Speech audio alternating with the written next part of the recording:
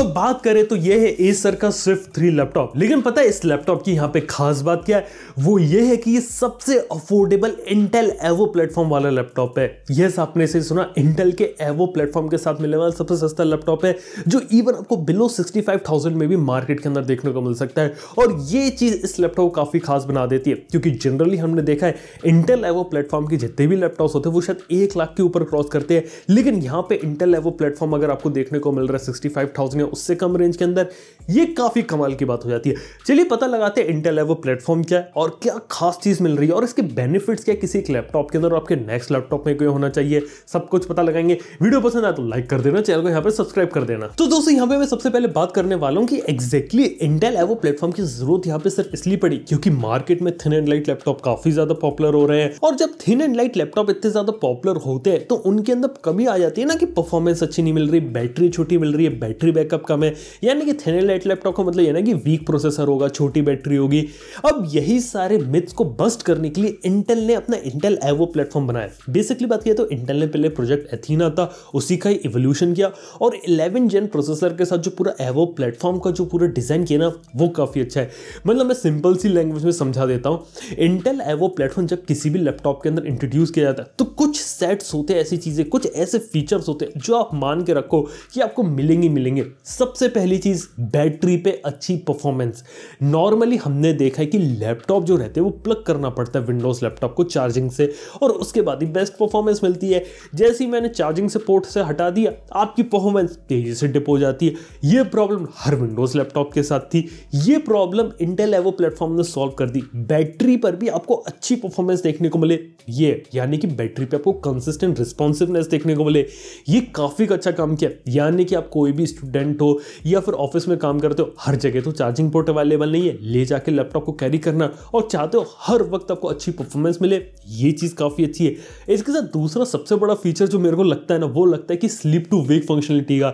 मतलब एक बार में अगर मैं लैपटॉप को क्लोज कर दूँ उसकी लिड और उसके बाद उसे स्लीप से अगर ओपन करूँ, एक सेकंड से कम लगता है। हालाँकि ये जो कमाल है एस का भी होता है, लेकिन यह प्रोसेसर का भी काफ़ी इंपॉर्टेंट खेल है, क्योंकि हर एस वाला लैपटॉप एक सेकंड से कम में स्लीप से वेक तो नहीं होता है। ये चीज़ तो मैंने देखी और ये चीज़ शायद आपने भी देखी, अगर कोई एसएसडी वाला लैपटॉप चलाए। यहाँ पे लेकिन प्रोसेसर के अंदर एक ऐसी चीज़ की गई है कि एक सेकंड से कम, यानी कि विंडोज़ लैपटॉप के अंदर हमने पहले ऐसी चीज़ देखी नहीं थी कि अगर लैपटॉप अगर स्लीप पोजिशन में और उसे अगर मेरे को ओपन करना है तो वो एक सेकंड से कम पोज टाइम में ओपन हो जाए। ये चीज़ यहाँ पे इंटेल एवो प्लेटफॉर्म ने कर दिखाई है और ये चीज़ मैं सच बताऊँ, ये चीज़ सच में काम करती है और इंटेल एवो के मैंने काफ़ी सारे लैपटॉप ट्राई करे, सबके अंदर ये चीज़ कंसिस्टेंट देखने को मिल रही है। जी हाँ इसके साथ ही बात करें तो प्रॉब्लम होती थी ना लैपटॉप में कम बैटरी देखने को मिल रही, यहाँ पे उस प्रॉब्लम को भी फिक्स कर दिया, ज़्यादा लंबी बैटरी इंटेल एवो में मिनिमम आपको नौ घंटे का बैटरी बैकअप मिलता है और इस लैपटॉप में फोर्टीन आवर्स का प्रॉमिस किया गया है, लेकिन फिर भी नौ से दस घंटे ईजिली निकाले जा सकते हैं कैजुअल वर्कलोड के अंदर, वो काफ़ी अच्छी चीज़ है।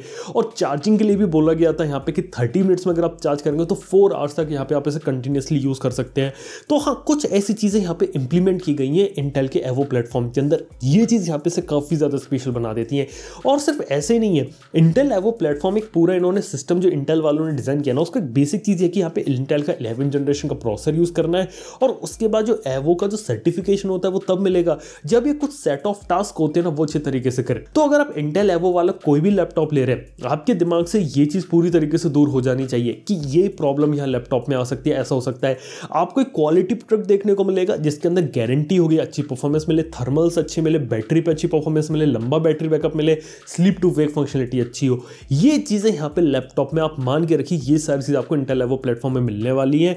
और ऐसा नहीं कि एसर का लैपटॉप है। ये एसर का लैपटॉप तो है इसलिए चूज़ किया गया क्योंकि one of the most affordable Intel Evo platform का लैपटॉप है। लेकिन अगर हम बात करें तो लगभग हर कंपनी जो है ना, वो अपने एवो प्लेटफॉर्म वाले लैपटॉप बना रही है। चाहे हम लेनोवो की बात कर ले असूस की बात कर ले डेल की एच की, हर कंपनी यहाँ पे ऐसे काम कर रही है।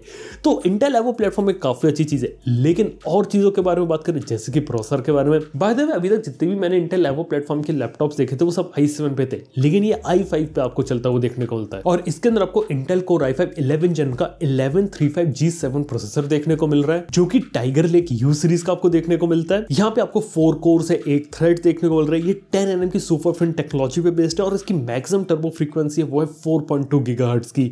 अब बड़े बड़े नंबर तो हो गए, लेकिन रियल वर्ल्ड में परफॉर्मेंस ये कैसी रहेगी? आप इसके अंदर जितने भी आपके ऑफ़िस के काम होते हैं, वो सारे कर सकते हैं, जितने भी power point presentation word document ये सारी चीज़ें जितनी भी आपको करनी है अच्छे से कर सकते हैं। लेकिन अगर आपका कोडिंग वाला काम है प्रोग्रामिंग वगैरह करनी है C plus plus Python Java में कोड लिखना है या एंड्रॉइड स्टूडियो चलाना है, वो यहाँ पे चलाया जा सकता है।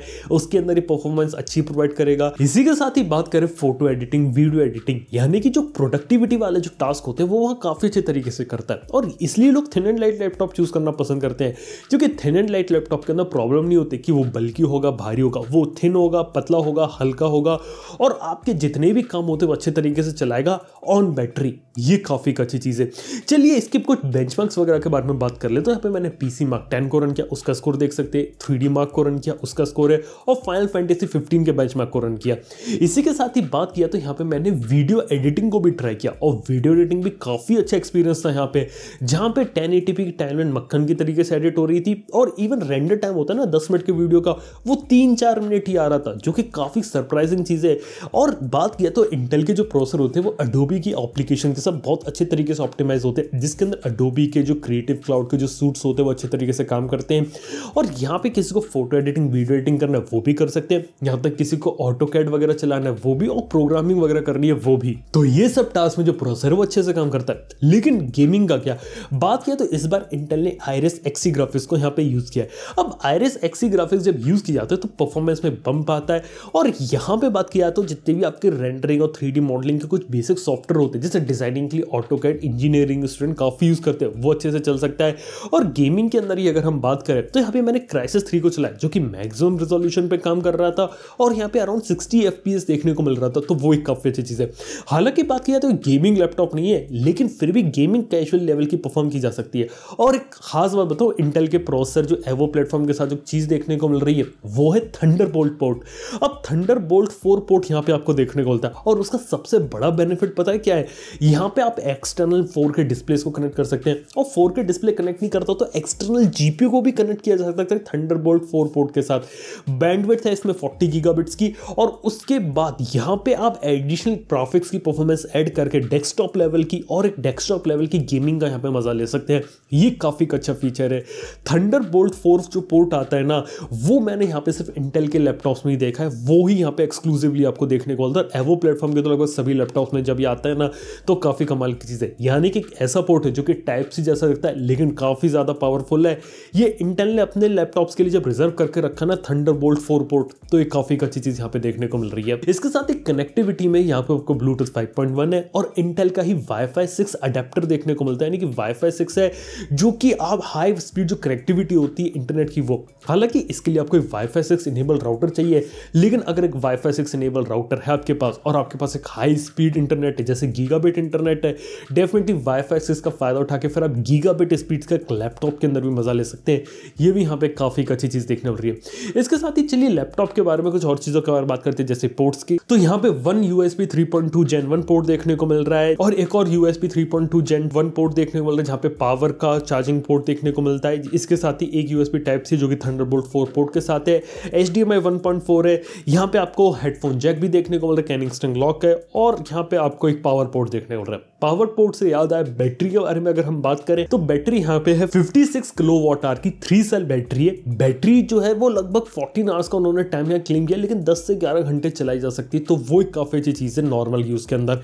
बैटरी लाइफ में तो कोई शिकायत आपको यहाँ देखने को नहीं मिलेगी। इसके साथ ही बात करें चार्जर की तो सिक्सटी फाइव का जो चार्जर होता है, वो यहाँ पे बॉक्स के अंदर देखने को मिल रहा है। ये नॉर्मली जो थ्री पिन वाला चार्जर होता है ना, वो है यहाँ पे। इसके साथ ही रैम जो वो लैपटॉप है वो है एट की। ये डी डी एफ़ रैम है। Five hundred twelve PCI based S जो कि काफ़ी फास्ट है या स्पीड टेस्ट को भी रन किया इसके तो भी अच्छे रिज़ल्ट यहाँ देखने को मिले। इसके साथ ही माइक्रोसॉफ्ट विंडोज़ टेन के होम के साथ आपको देखने को मिलता है। विंडोज़ इलेवन जब आएगा तो उसका भी अपडेट यहाँ देखने को मिलेगा।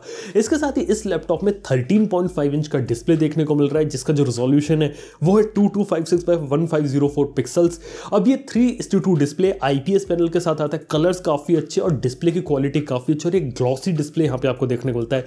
थ्री का बस यहाँ पे एक छोटा सा नुकसान ये होगा कि जो वीडियो देखते समय जो ब्लैक बार्स होती है, थोड़ी ज़्यादा जाएँगी। लेकिन अगर किसी को डॉक्यूमेंट्स वगैरह पे काम करना है या फिर वेब पेज पे ज़्यादा जो आइटम्स होते हैं, वो व्यू करने हैं तो वो यहाँ पे काफ़ी अच्छे तरीके से यहाँ आसानी से कर पाएगा। इसी के साथ ही दो वाट के स्टीरियो स्पीकर थोड़े कम लगे। यहाँ पे जो लैपटॉप का कीबोर्ड मिलता है, वहाँ पे आपको बैकलाइटिंग देखने को मिलती है। जो ट्रैक पैड है वो काफ़ी बड़े मल्टीपल जेस्टर्स को यहाँ सपोर्ट करता है। इसके साथ ही ओवरऑल जो बिल्ड है लैपटॉप की, वहाँ पे हल्का सा आपको प्लास्टिक का टच देखने को मिलता है, लेकिन वो भी सिर्फ़ शायद इसलिए किया गया क्योंकि लैपटॉप के वेट को यहाँ कम करना है।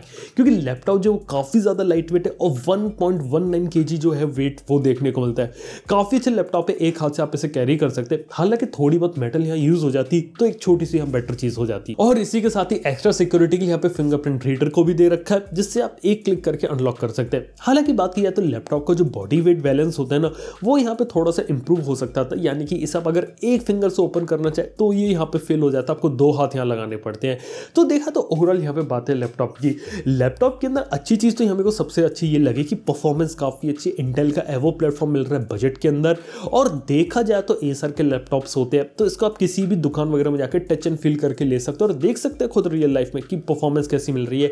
इवन अगर आपको बिलीव नहीं होता कि स्लीप टू वेक फंक्शनलिटी कैसी है, यहाँ पर किसी भी इंटेल एफओ लैपटॉप को अगर दुकान में जाकर ट्राई करेंगे तो आपको खुद पता चल जाएगा कि ये कितना कमाल का फीचर है कि एक सेकंड से कम समय में जो लैपटॉप होता है वो स्लीप से वेक हो जाता है।